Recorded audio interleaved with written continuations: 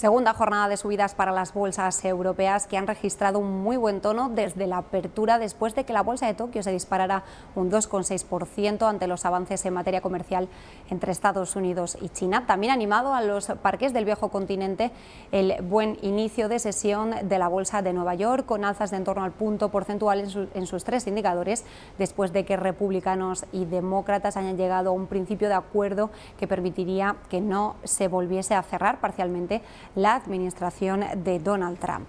Así las cosas, hoy la bolsa española ha subido medio punto porcentual y le ha faltado muy poquito para los 9.000 puntos, un nivel que se ha llegado a tocar durante la sesión. Ha contado con el empujón de dos pesos pesados como Inditex y BBVA que han subido más de un 1,5% este martes, mientras que el valor más alcista de la jornada ha sido la hotelera Meliá. Sus acciones han subido más de un 4%. Le ha acompañado CIA Automotive que ha subido un 3% en una jornada de contagio en el sector de la automoción después de que Michelin se haya disparado un 13% en la Bolsa de París tras presentar unos buenos resultados. En el lado opuesto, el valor más castigado y afectado por el Brexit ha sido IAG, se ha dejado más de un 2%, junto a él otros valores como Celnex, que ha restado un punto porcentual, y Colonial un 0,7%. El valor que más ha bajado de toda la bolsa española ha sido el Grupo Díaz, se ha dejado un 5% y le sitúa ligeramente por debajo de los 67 céntimos que había propuesto su principal accionista en la OPA. En otros mercados, la prima de riesgo española ha bajado este martes hasta los 111 puntos básicos, además en una jornada en la que se ha celebrado una nueva subasta del Tesoro Público Español, donde se han captado